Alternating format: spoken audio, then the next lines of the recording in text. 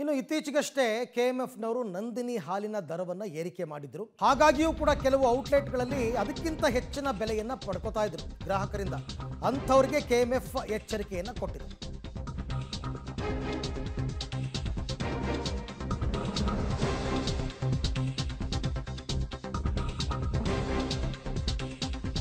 ನಂದಿನಿ ಹಾಲಿನ ದರ ಏರಿಕೆಯ ಬಿಸಿಯಲ್ಲಿರುವ ಗ್ರಾಹಕರ ಪರವಾಗಿ ಕೆಎಂಎಫ್ ನಿಂತಿದೆ. ಹಾಲಿನ ಪ್ಯಾಕೆಟ್ ಮೇಲೆ ಮುದ್ರಿತವಾದ ಬೆಲೆ ಮಾತ್ರ ತಗೊಳ್ಬೇಕು.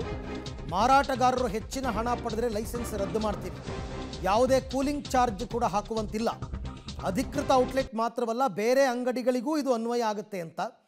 ಹೆಚ್ಚಿನ ಹಣ ಕೇಳಿದ್ರೆ ಕೆ ಎಂ ಎಫ್ಗೆ ದೂರು ಕೊಡಿ, ದೂರು ಬಂದರೆ ಮುಲಾಜಿಲ್ದೆ ಕ್ರಮ ಅಂತ K M F M D ಹೇಳಿದ್ದಾರೆ. ಖಂಡಿತವಾಗ್ಲೂ ನಾವು ಡೀಲರ್ಸ್ಗೆ ಕಾಂಟ್ಯಾಕ್ಟ್ ಮಾಡಿ ಯಾವ ಡೀಲರ್ಸ್ ಅವ್ರದ್ದು ಎಕ್ಸ್ಟ್ರಾ ತೊಗೊಂಡಿದ್ದಾರೆ ಅವ್ರಿಗೆ ಎಚ್ಚರಿಕೆಯನ್ನು ಕೊಡ್ತೀವಿ. ಮತ್ತು ಸಾಧ್ಯವಾದಷ್ಟು ಮಟ್ಟಕ್ಕೆ ಕನ್ಸ್ಯೂಮರ್ದು ಏನೋ ನಂಬರ್ ಸಿಕ್ಕಿದ್ರೆ ನಾವು ಅವ್ರಿಗೆ ಕಾಂಟ್ಯಾಕ್ಟ್ ಮಾಡಿ ಅವ್ರ ಕಡೆಯಿಂದ ಏನಾದರೂ ನಾಳೆ ನೆಕ್ಸ್ಟ್ ಡೇಟಲ್ಲಿ ಕಮಿಂಗ್ ಡೇಸಲ್ಲಿ ಅದನ್ನು ಕೋಪಪ್ ಮಾಡಿ ಅವ್ರಿಗೆ ಸರ್ವಿಸ್ ಕೊಡಲಿಕ್ಕೆ ಸರ್ವಿಸ್ ಕೊಡಲಿಕ್ಕೆ ಹೇಳ್ತೀವಿ.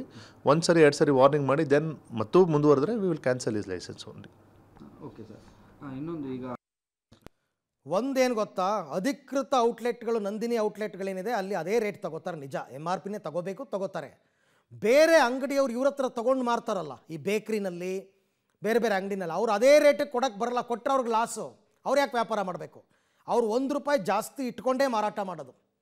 ನೀವು ಬೇಕ್ರಿಗಳಿಗೆ ಹೋಗ್ಬಿಟ್ಟು ಎಂ ಆರ್ ಪಿ ಕೊಡಿ ಅಂತ ಕೇಳಿ ನೋಡೋಣ ಹಾಲನ್ನು. ಅಥವಾ ಇನ್ಯಾವುದಾದ್ರೂ ಅಂಗಡಿಗೆ ಹೋಗ್ಬಿಟ್ಟು ಎಂ ಆರ್ ಪಿ ಕೊಡಿಯನಿ ಕೊಡಕ್ಕೆ ಕೊಡಲ್ಲ ಅವರು, ಒಂದು ರೂಪಾಯಿ ಜಾಸ್ತಿ ಇಟ್ಕೊಂಡೇ ಮಾರ್ತಾರೆ. ಅಂಥವ್ರ ವಿರುದ್ಧನೂ ಕ್ರಮ ತಗೋತೀರಾ?